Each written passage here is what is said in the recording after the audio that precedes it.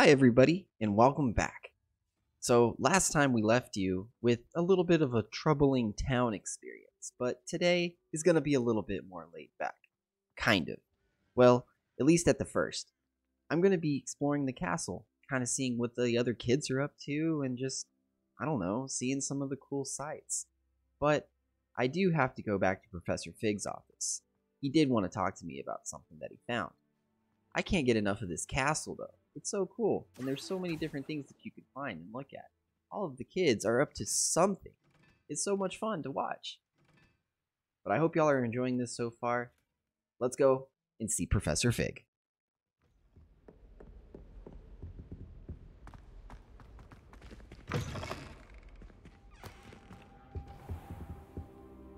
Professor, I'm glad to see you. And I you. Thank Merlin you're in one piece.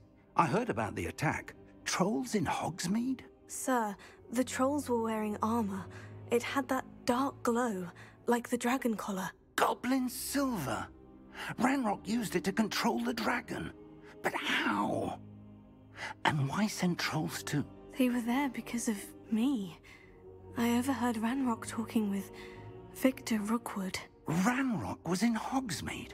With Rookwood? The trolls were Ranrock's distraction so that Rookwood could get to me, and he would have, had Sirona and the patrons at the Three Broomsticks not intervened. This is grave news indeed. If Ranrock's goblins and dark wizards are after you, they want what we found in that vault. They're after the locket. You said you discovered something in it. Yes, yes. I discovered an inscription. When I read it aloud, this map appeared. Clever enchantment. It's a map of Hogwarts, to be sure, but I do not know where it leads. It leads to the library. The restricted section, to be precise, and a bit beyond. I see traces of magic there on the map. I suspected you would see something. Shall we go? I appreciate your enthusiasm, and I'm eager to discover what we may find there as well. But if our experience at Gringotts, let alone what happened to Miriam, taught me anything, it's that the path we're on is terribly dangerous. I'd like you to work with Professor Hecat a bit before we continue. But, sir, how dangerous could the library be? Perhaps we're only after a book. Perhaps we are only after a book, but we should be prepared for anything. Once you've honed your defensive magic further, come and see me. Professor so Professor Fig wanted me to go learn another spell from Professor Hecat. But on my way to their office, I kind of got distracted by another student. If only a new student would help me with my sad predicament. Very subtle, am I right? Are you alright? Don't you know who I am? Zenobia Noke, the girl whom everyone at school hates for no reason. This is Zenobia Noki, or as we like to call her, Zenobia, are you okay? Are you okay? Are you okay, Zenobia? anyway, she lost some of her marbles, I guess, from one of her games that she likes to play. And uh, if you lose this game, the marbles fart on you, basically. Some people don't like when they lose this game, so they hid her marbles all over the castle. So it was kind of our job to go find it. It did lead us to some pretty interesting spots in the castle, which I didn't mind exploring, but we finally did get it completed at some point. I'm here about the new spell you wanted to teach me, Professor. Good. Professor Fig indicated a certain urgency to you completing your defensive magic assignments.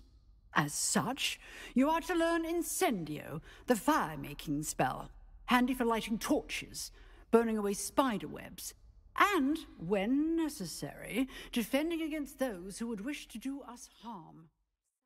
Professor Hecat wanted to teach me the spell Incendio, the fire spell, but basically alluded to that she already knew that we have an underground fight club and basically was pushing me to go fight in the fight club to gain some experience before she taught me this spell. So, it was off to the fight club.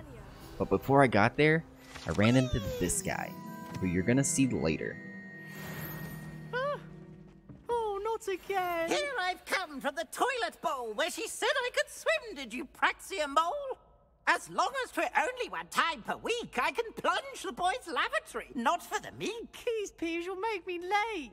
He tried to stop me, did rancorous carp. Sought to trap me, confine me inside of a jar. But he failed, as did his containment charms. So I took my revenge to wreak havoc and harm. It was granted my privileges be handsome indeed, or I'd fire up the cannon, and so she agreed. To draw up a contract with her, not with him, that if I behaved, I'd have one weekly swim! Whee! I'll get you for this. A ghost bully that rhymes. This place is interesting. But I finally ran into Lucan, who looks a little young, but he actually runs the Fight Club. And he got me my first couple matches, and this is how they went.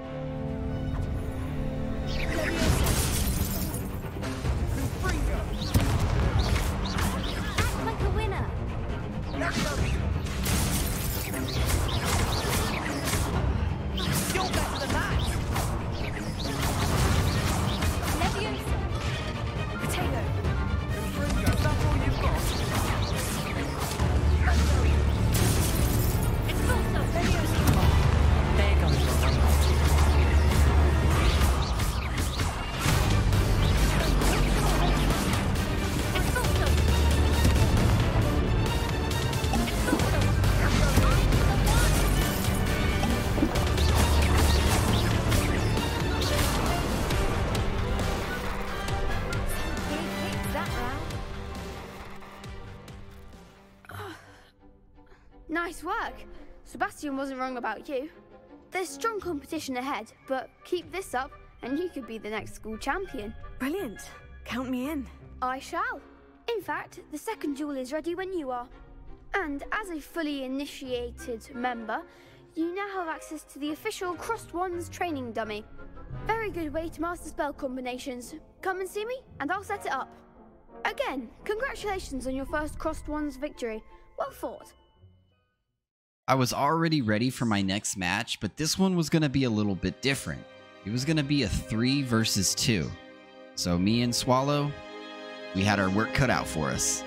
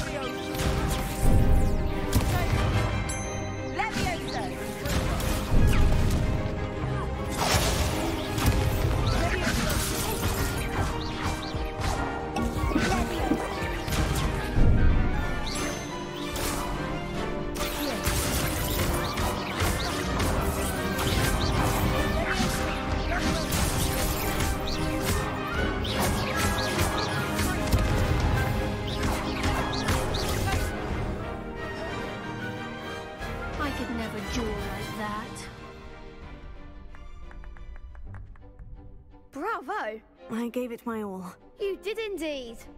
The other duelists have already taken notice of you, but after that last round, they'll really have it in for you.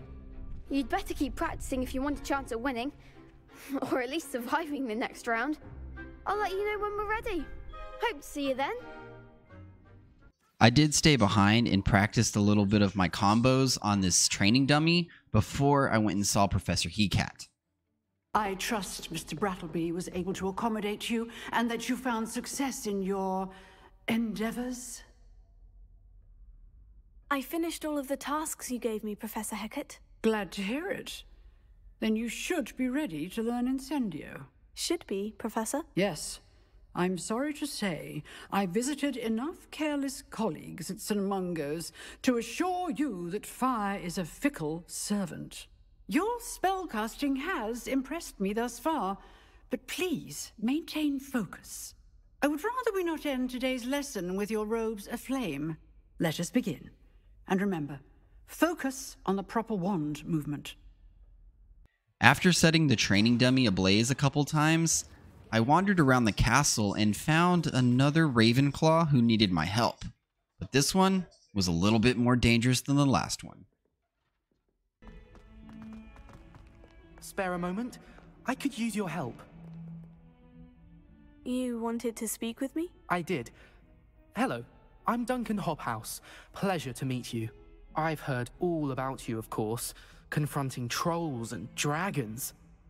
So basically, Duncan is considered, I guess, to be like a chicken around school.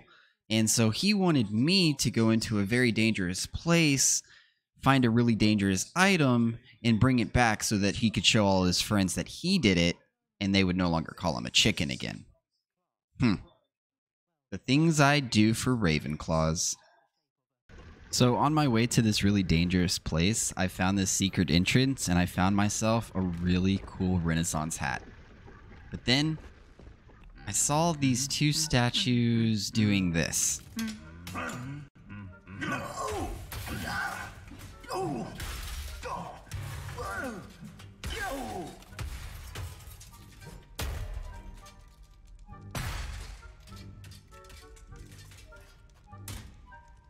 Incendio!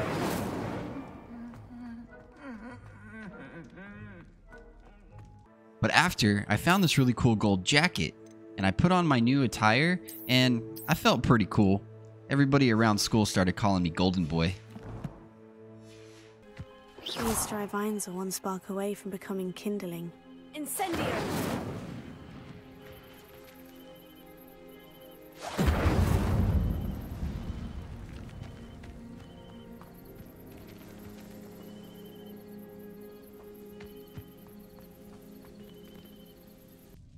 This must be the entrance to the hidden herbology corridor. Revelio.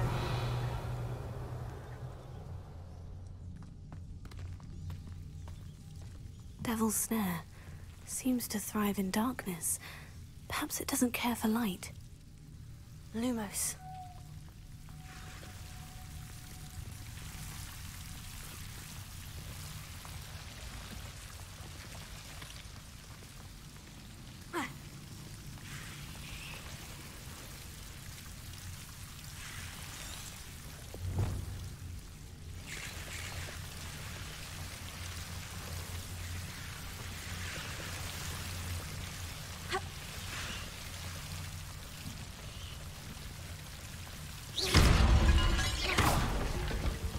Lumos. Seems the Devil's Snare was protecting a chest of some kind.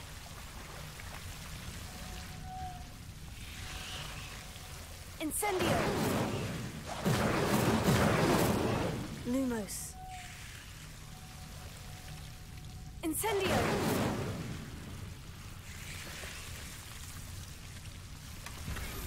Yep, that's right. It was just hiding a really, really nice shirt. Revelio.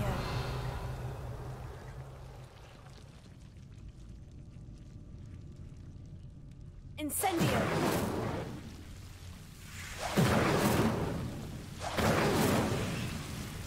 Lumos.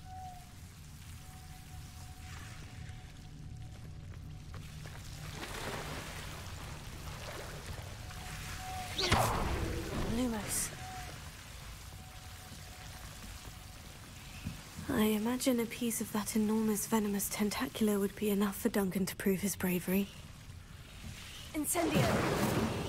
Lumos.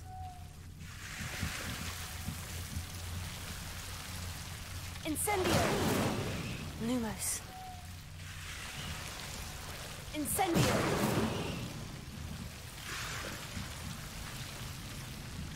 Lumos. Incendio!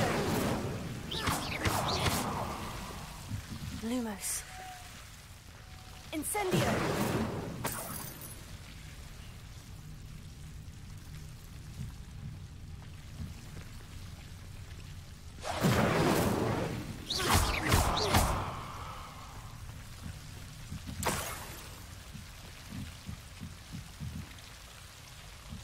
Lumos.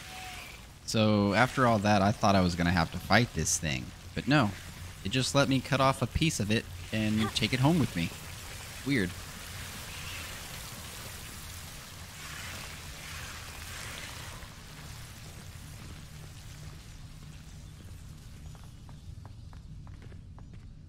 Incendio! Lumos.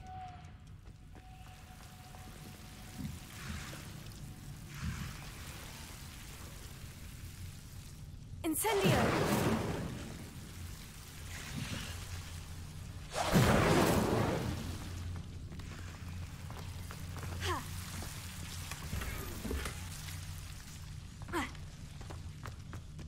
Lumos.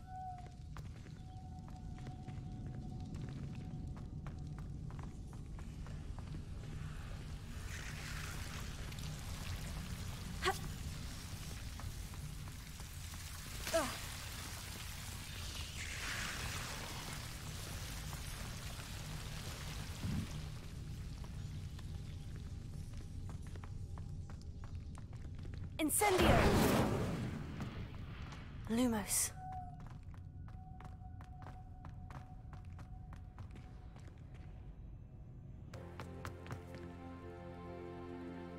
On my way back, I saw this kid trying to ride his broom, and he failed.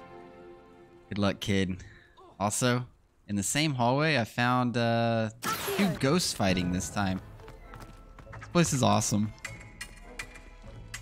But let's get this thing back to Duncan. Hello, Duncan. I have the proof you wanted. That's one leaf. Must have been a giant venomous tentacula. It's even more than I expected. I knew you were the one to ask. I appreciate you getting it for me.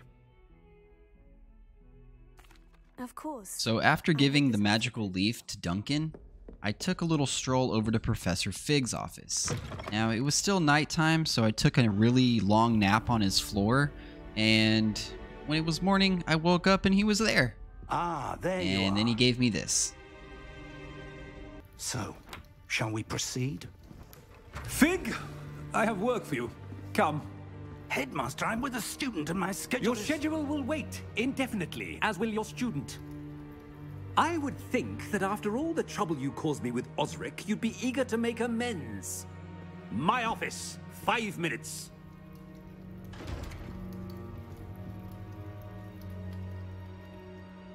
Man is exasperating. Unfortunately, our trip to the restricted section will have to wait a bit longer. But, Professor, We have no choice. It would be unwise to provoke our illustrious headmaster further. I shall find you when I've completed whatever toils I must endure. Now, Professor Fig and I were supposed to go check out the restricted section of the library, but he got called away by the headmaster.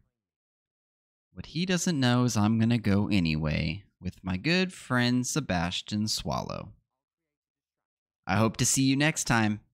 See what we get into in the library. Peace out, everybody.